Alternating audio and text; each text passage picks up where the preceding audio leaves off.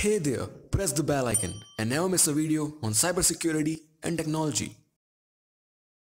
नमस्कार दोस्तों मैं हूँ अंश और आप देख रहे हैं बिडेटेक यूट्यूब चैनल इस वीडियो में हम बहुत टेक्निकल चीज़ों पे बात करने वाले हैं। मैंने फ़िलहाल अभी इस पर रिसर्च की हुई है जो कि बहुत एक पुराना बग है। मतलब ये काफ़ी पुराना है और शायद आपको इसके बारे में पता होगा लेकिन जो टेक्निकल चीज़ें मैं आज डिस्कस करने वाला हूँ अपनी सिंपल भाषा में वो शायद आपको पता न हो।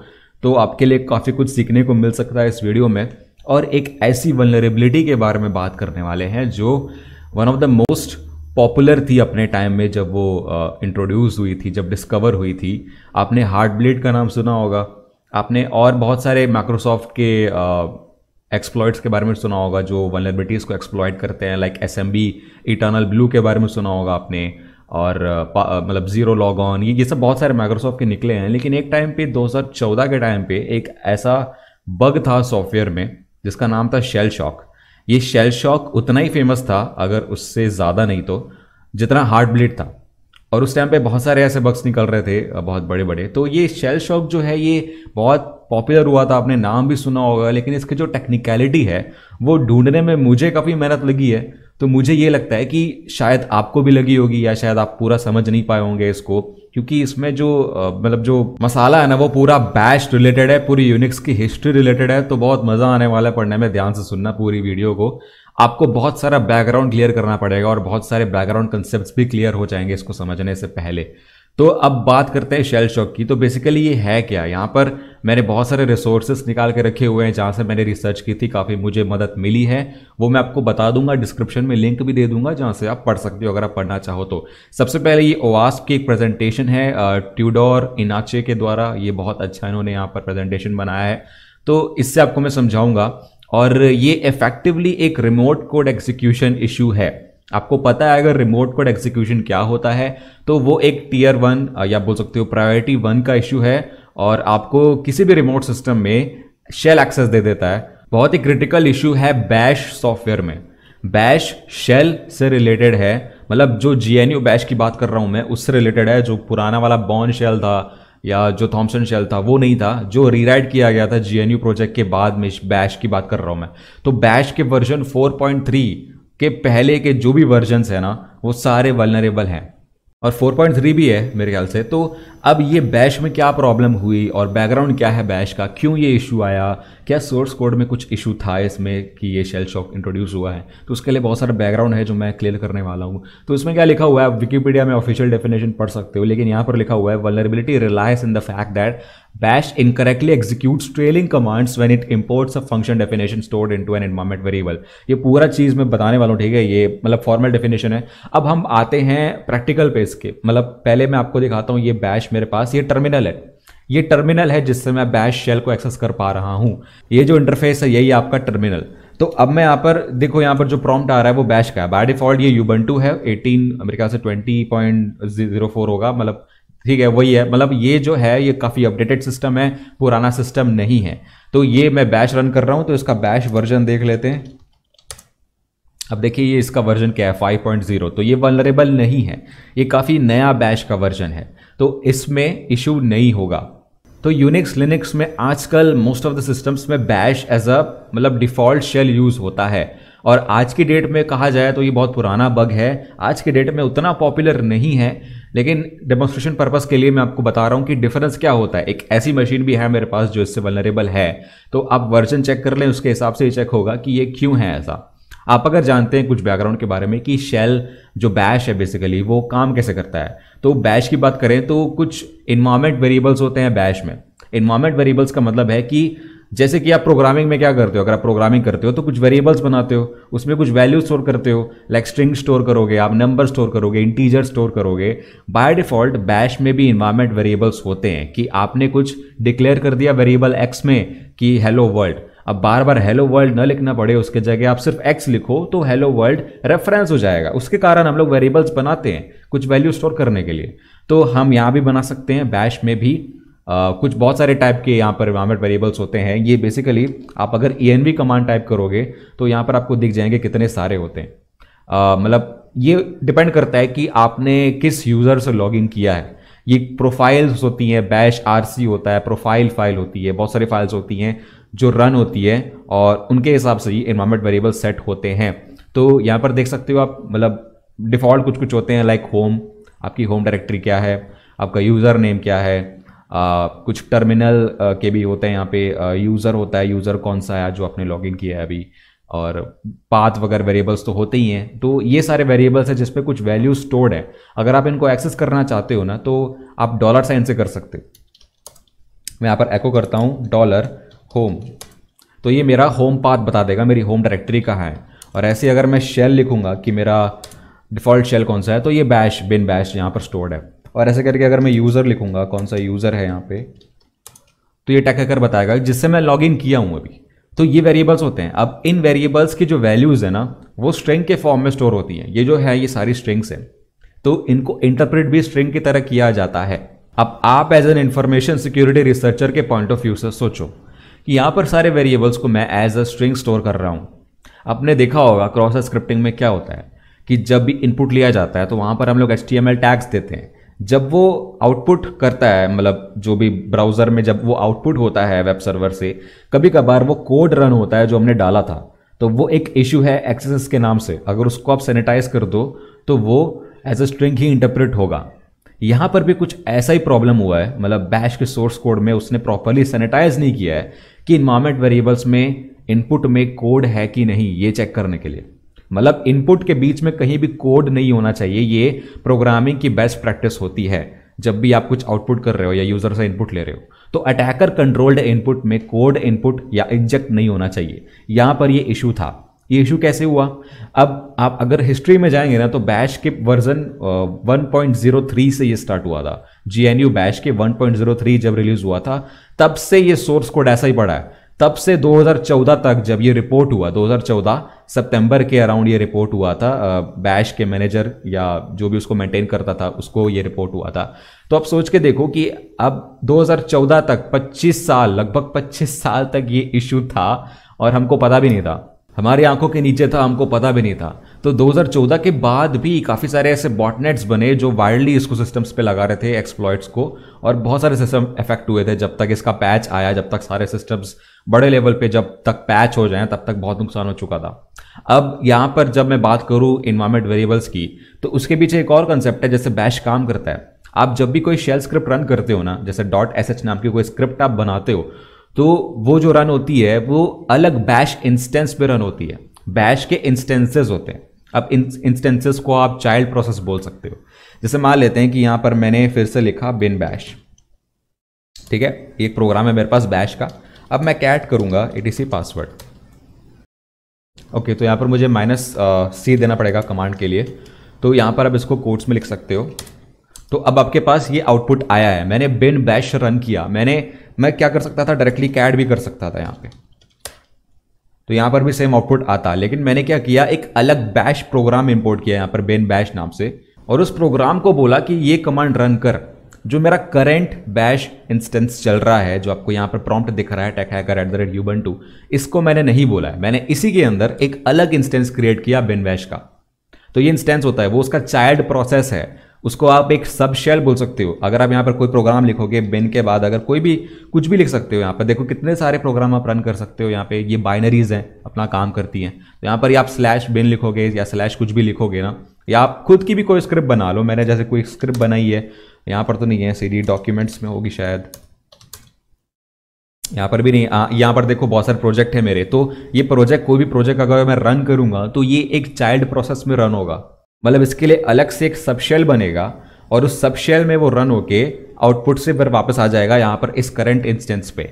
लेकिन अब यहाँ पर एक कंसेप्ट होता है कि जब भी आप कोई सबशेल क्रिएट करते हो ना तो करंट बैश इंस्टेंस के जो इन्वायरमेंट वेरिएबल्स हैं, वो कॉपी हो जाते हैं आपके सबशेल में। मतलब इस बैश इंस्टेंस के जो भी मैंने ई बनाए हुए हैं ना तो ये सारे कॉपी हो जाएँगे जो मैं सबशेल क्रिएट करूँगा उसमें। उस सबशेल में मैं कोई भी स्क्रिप्ट कोई भी बाइनरी कोई भी प्रोसेस रन कर रहा हूँ ये सारे उस पर कॉपी हो जाएँगे। और जो कॉपी होने का तरीका है वही वलनरेबल है। मतलब कॉपी होने के टाइम पे जो ये वेरिएबल्स पार्स होते हैं ना वहाँ पर बैश गलती करता है और वहीं पे प्रॉब्लम स्टार्ट होती है। वो कैसे स्टार्ट होती है? मैं यहाँ पर मैं आपको दिख, रहा हूँ यहाँ पे आ, कि ये शेल शॉक काम कैसे करता है। अभी मेरा जो करेंट बैश का वर्जन है वो वलनरेबल नहीं है।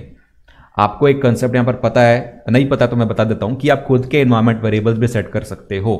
तो अगर आपको कोई इन्वायरमेंट वेरिएबल बनाना है खुद का तो आप ई कमांड से कर सकते हो। उसके बाद उस वेरिएबल का नाम दे दो, जैसे मैं एक्स लेता हूँ, कुछ भी ले सकते हो, उसका वैल्यू दे दो हेलो वर्ल्ड फॉर एग्ज़ाम्पल अभी आपके इन्वायरमेंट वेरिएबल्स पर जाके स्टोर हो जाएगा। यहाँ पर आप देखिए, सबसे लास्ट में X equal to hello world ये रहेगा आपके करंट बैश इंस्टेंस पे। एक और तरीका है, या तो आप एक्सपोर्ट यूज़ कर सकते हो export X equal to hello world ये दोनों तरीके आप यूज़ कर सकते हो। लेकिन यहाँ पे कैच ये है कि जब मैं एक वेरिएबल बना रहा हूँ तो मैं करंट बैश इंस्टेंस के लिए बना रहा हूँ। मुझे अगर इसका इफ़ेक्ट देखना है तो एक नया सबशेल बनाना पड़ेगा। उस टाइम पे जब मैं ये इन्वायरमेंट वेरिएबल क्रिएट कर रहा हूँ तो अब मैं क्या करता हूँ ट्राई करता हूँ ई ठीक है? चलो एक और कॉन्सेप्ट आप, आपको समझना पड़ेगा बैश फ़ंक्शंस के बारे में। बैश फ़ंक्शंस आप बना सकते हैं जैसे आप कोई भी प्रोग्रामिंग लैंग्वेज में फ़ंक्शंस बनाते हैं ना वैसे बैश में भी फ़ंक्शंस होते हैं। तो मैंने शायद एक स्क्रिप्ट बनाई थी यहाँ पे सी डी अगर मैं करूँगा बैश तो मेरे पास एक फ़ंक्शंस की स्क्रिप्ट है कैट करूँगा फ़ंक्शंस तो यहाँ पर आप देख सकते हैं इस टाइप के फ़ंक्शंस आप बना सकते हो बैश में। तो वो वैसे ही होते हैं फ़ंक्शन क्यों यूज़ करते हैं हम लोग जब वो कोड बार बार लिखना ना पड़े जो भी काम करना होगा फ़ंक्शन बना के मैं बार बार उसको रेफरेंस कर दूँगा अलग अलग आर्ग्यूमेंट्स के साथ। तो यहाँ पर मैंने इसको रेफरेंस किया है। ये एक नॉर्मल फ़ंक्शन है। बैश में आप एम फ़ंक्शंस बना सकते हो। एम टी फ़ंक्शन बनाने के लिए आपको एक सीक्वेंस देना पड़ता है इस टाइप का। जैसे एक एड एड लिखूँगा। और यहाँ पर मैं लिखूँगा दो ब्रेसेस जो, दो पैरेंथेसिस सॉरी तो एक करली ब्रेस यहाँ पर आएगा। और उसके बाद आप कुछ भी यहाँ पर लिख दो लाइक अगर आपको ब्लैंक बनाना है एम बनाना है तो आपको यहाँ पर कॉलन देना पड़ेगा। कॉलन के बाद आएगा आपका सेमी कॉलन उसके बाद स्पेस दे के फिर करली ब्रेस खत्म। ये आपका एक फ़ंक्शन सिंटैक्स है एम फ़ंक्शन का। इसमें कॉलन का मतलब है रिटर्न ट्रू बस ट्रू दे दो। इस, ये अगर आप नहीं करोगे ना तो आपको एक सिंटैक्स एरर मिलेगा, इसलिए ये किया हुआ है। आप इसको और छोटा कर सकते हो, ठीक है? और छोटा करके क्या होगा कि आप इसका नाम हटा दो। ये भी काम करता है। ये एक नेमलेस फ़ंक्शन है एनोनिमस फ़ंक्शन तो अब मैं यहाँ पर डिक्लेयर करता हूँ इन्वायरमेंट वेरिएबल उसी सीक्वेंस के साथ एक्स कोई मैं रिराइट कर दूँगा यहाँ पे। तो एक्स की वैल्यू में लिखता हूँ यहाँ पर वही सीक्वेंस एक ब्लैंक फ़ंक्शन और बीच में ये सीक्वेंस एंड दैट सेट उसके बाद मैं क्या करूँगा, एक नया सबशेल बनाऊँगा। यहाँ पर आप देखिए, सिर्फ़ इतने ही शब्दों में सारा का सारा मेरा जो पूरा फ़ंक्शन है वो डिक्लेयर हो चुका है। कितने करेक्टर लगे यहाँ पे? एक, दो, तीन, चार, पाँच, छः, सात, आठ, नौ। सिर्फ़ नौ करेक्टर में पूरा फ़ंक्शन बन चुका है मेरा। और अब देखते हैं एक नया इंस्टेंस बना करके बिन बैश इस सबशेल में ये x की वैल्यू पास हो जाएगी और वहाँ पर आप इसको एक्सेस कर सकते हो। तो मैं माइनस सी देता हूँ। ये टेस्ट करने के लिए कि x से क्या पास हुआ है वहाँ पे। तो एको करूँगा डॉलर एक्स यहाँ पर आपको सिंगल कोड देना है, ठीक है? कभी कभार प्रॉब्लम करता है ये। तो अब देखते हैं कि x की वैल्यू क्या जाती है। तो यहाँ पर देखिए, ये पूरा एज इट इज़ गया है एज अ स्ट्रिंग गया है वहाँ पे। तो इसमें अगर आप कुछ लिखोगे लाइक इस फ़ंक्शन में कुछ लिखता हूँ मैं, जैसे एको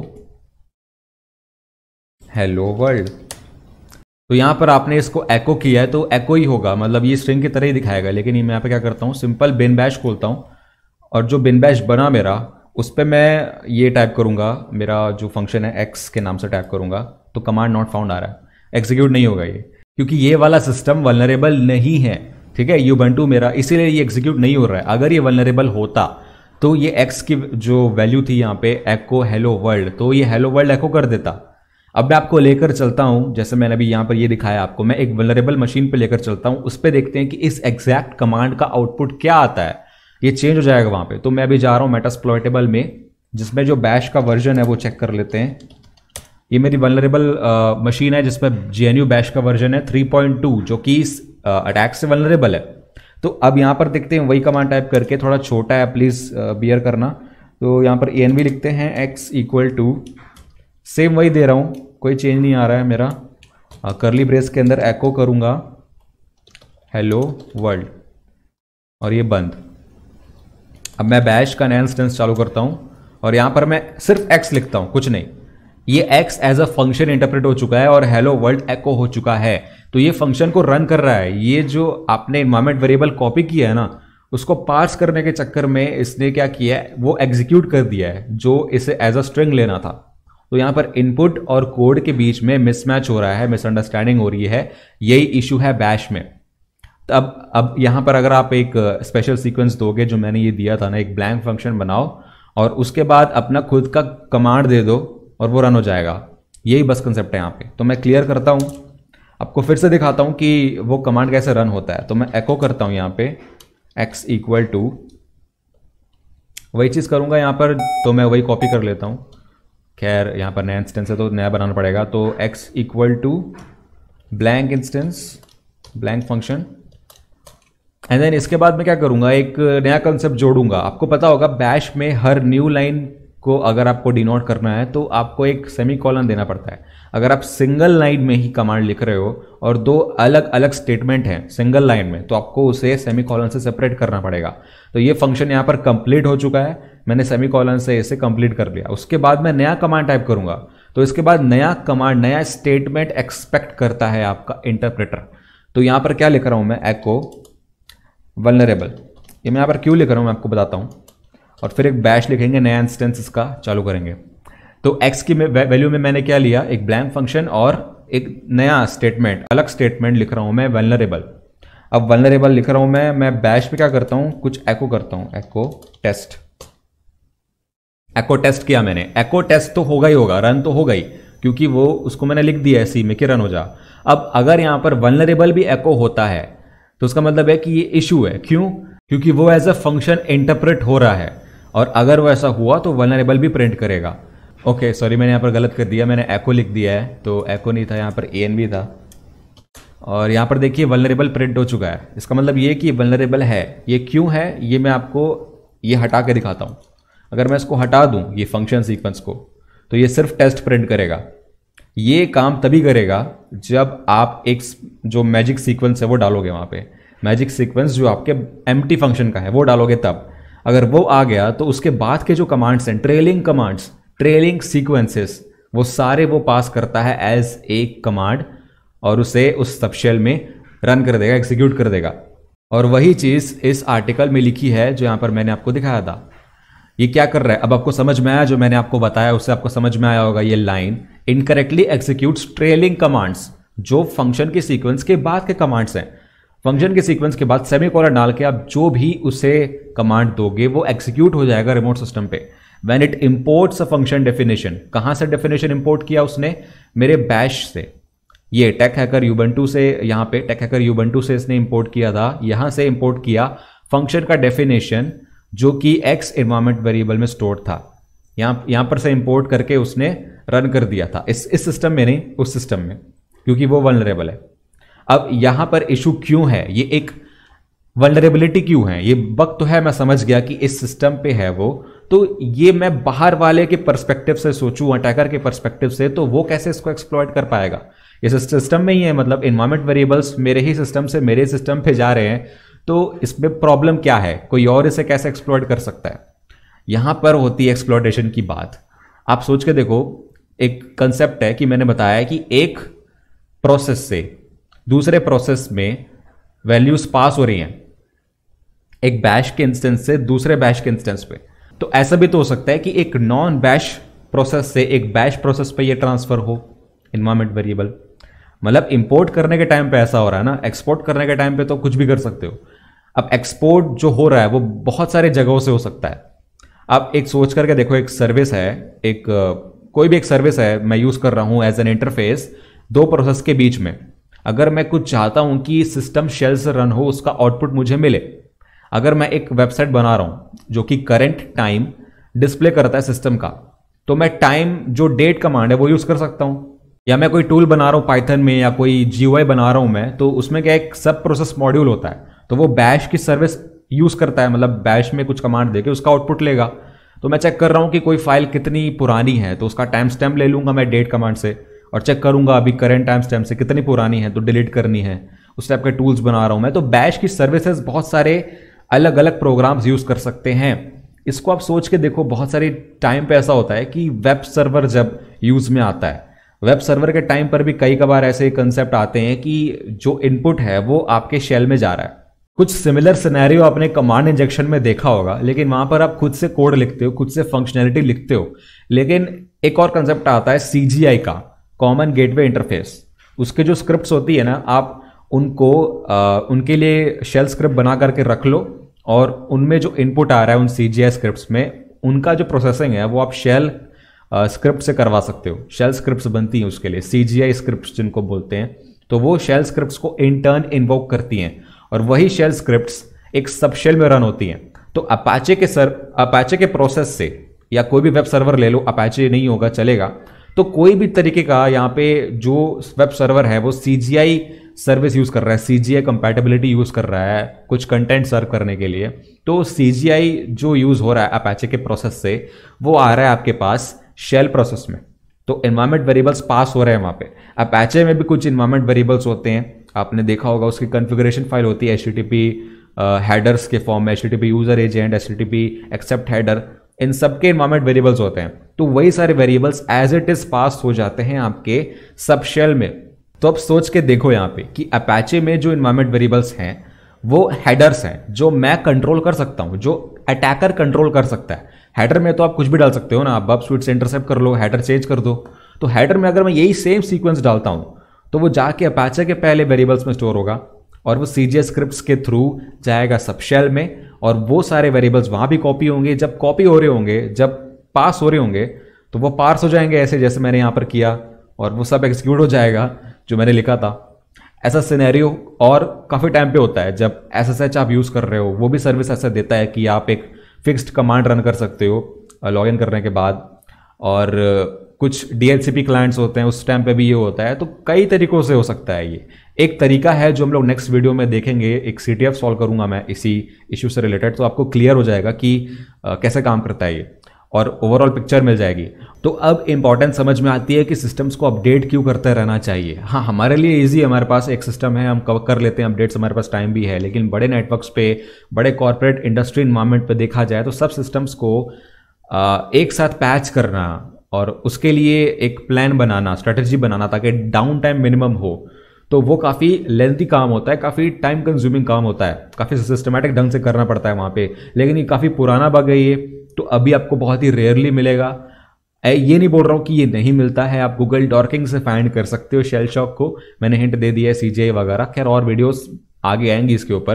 तो मैं बोल रहा था आपको कि बैश जहाँ पर होगा, जहाँ पर भी यूज़ हो रहा है। ज़रूरी नहीं है बैश की सिर्फ़ यूनिक्स पे यूज़ हो रहा है, सिर्फ़ आपके यूबेंटू में यूज़ हो रहा है। बहुत सारे जगह यूज़ होता है। आपके फ़ोन में भी बैश यूज़ होता था। अभी हो रहा है कि नहीं मुझे नहीं पता, लेकिन होता तो था। काफ़ी पॉसिबिलिटी है कि आज भी दुनिया में कोई ना कोई फ़ोन्स होंगे जो लोग यूज़ करते हैं, जिस पर बैश रन हो रहा हो। और ये सिर्फ़ कंप्यूटर्स पे नहीं होता है, ये आईओटी डिवाइसेस पे होम राउटर्स पे भी रन होता है बैश तो ये काफ़ी सारे डिवाइसेस पे वनरेबल था। अभी मोस्टली काफ़ी सिस्टम्स पैच हो चुके हैं, लेकिन 25 साल तक ये अंडर द कॉमन आई था और अभी कौन सा और बग है सोर्स कोड में हमको नहीं पता। सोर्स कोड जब देखा गया उसका तो वो 1.03 से 1989 1989 से ये बग था वहाँ पे। और बस इसको पैच करने के जो तरीके हैं सिंपल है कि आप अब अपडेट कर लो बैच को। अब जो मैंने यूबंटू यहाँ पर डाला है, वो तो होता नहीं है, इससे वनरेबल नहीं है। और इस पर अगर आप वही चीज़ लिखोगे, जो मैंने पहले लिखा था, जैसे कि कैट ई पासवर्ड अगर आप लिखोगे यहाँ पे तो ये रन नहीं होगा बैच पे। कुछ नहीं होगा यहाँ पे। तो ये वनरेबल नहीं अगर ये से, सेम चीज़ मैं वहाँ पर मेटास्प्लोटेबल में एक और बार आपको दिखा देता हूँ। ई एन वी किया मैंने। ये सीक्वेंस लगाया और कैट करता हूँ यहाँ पर एडीसी पासवर्ड ये सेम चीज़ अटैकर प्रोवाइड कर सकता है मैं ये बता दूँ। इसीलिए ये एक्सप्लॉयटेबल है और इतना ज़्यादा पॉपुलर हुआ था। अगर ये नहीं होता तो फिर कोई प्रॉब्लम ही नहीं थी। देखो यहाँ पर एडीसी पासवर्ड दिख गया मुझे। सेगमेंटेशन फॉल्ट हो रहा है वो बात अलग है। लेकिन एडीसी पासवर्ड दिख गया ना। तो अटैकर कंट्रोल्ड इनपुट है ये। अब यही चीज़ें हैं और बस मेरे ख्याल से ज़्यादा कुछ नहीं है इसके अलावा। आई होप आपको समझ में आया होगा जो मैंने बताया। नहीं आया तो एक बार और देख लेना यार, क्योंकि थोड़ा सा टेक्निकल है यहाँ पे और जितना हो सके मैंने सिंपल भाषा में बताया, जितना मैंने रिसर्च किया दो दिन तक। और ये सारे आर्टिकल्स हैं, ये सारे जो रिसोर्सेस मैंने रेफ़र किए थे, मैं आपको लिंक्स दे रहा हूँ यहाँ पे। देख लेना इनको। ये है वास्प की स्लाइड्स है। विकीपीडिया का पेज है, यहाँ पर टेक्निकल डिटेल्स बहुत होती हैं, आपको पता है। क्लाउड फ्लेयर का ब्लॉग है इसके ऊपर शेल चौक के ऊपर। लिंक्स आपको मिल जाएँगे और ये वीडियो है जो मुझे मोस्ट हेल्पफुल लगा कंप्यूटर फ़ाइल की तरफ़ से। इसको ज़रूर देखना, ये आपके लिए मतलब एक वन शॉट रिविजन हो सकता है। और यहाँ पर भी टॉम स्कॉट का भी एक एक्सप्लेनेशन है, वो भी काफ़ी बढ़िया है। उन दोनों को देख लेना, आपको लगभग सब समझ में आ जाएगा इंग्लिश में। आई होप आपको अच्छा लगा होगा। ये वीडियो टेक्निकल वीडियोस लाने में मैंने देर कर दी है। आपको ऐसे वीडियोस चाहिए एक्सप्लेनेशंस uh, या बैकग्राउंड डिटेल्स जो कि लोग नहीं बताते या सिंपल लैंग्वेज में नहीं समझ में आती है तो आप बताइए मुझे कमेंट सेक्शन में। मैं ज़रूर बनाऊँगा आगे चल के और बस यही था इस वीडियो में। अगर आपको अच्छा लगा तो लाइक कर दें यार सब्सक्राइब कर देना। चैनल को काफ़ी हेल्प हो जाती है यार ऐसे वीडियोज़ के लिए। देखते रहिए सीखते रहिए और गुड बाय